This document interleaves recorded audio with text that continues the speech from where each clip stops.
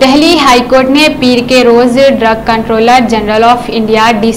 आई को कोविड 19 दवाओं के जखीरा अंदोजी की जांच करने और भारतीय जनता पार्टी बीजेपी के रुकन पार्लियामेंट गौतम गंभीर से इतनी बड़ी मकदार में कोरोना के इलाज की दवा फवी फ्लो के खरीदारी और तकसीम करने के सिलसिले में पूछगछ के लिए कहा है जस्टिस विपिन सिंह और जस्टिस जसमेत सांगीन की डिवीज़न पंच सबका क्रिकेटर गौतम गंभीर और आम आदमी पार्टी के मेम्बरान असम्बली प्रीति तोमर और परवीन कुमार के खिलाफ वबा के दौरान मुबैना तौर पर दवाओं के जखीरांदोजी करने के इल्ज़ाम के सिलसिले में दायर अर्जी की समाप्त कर रही है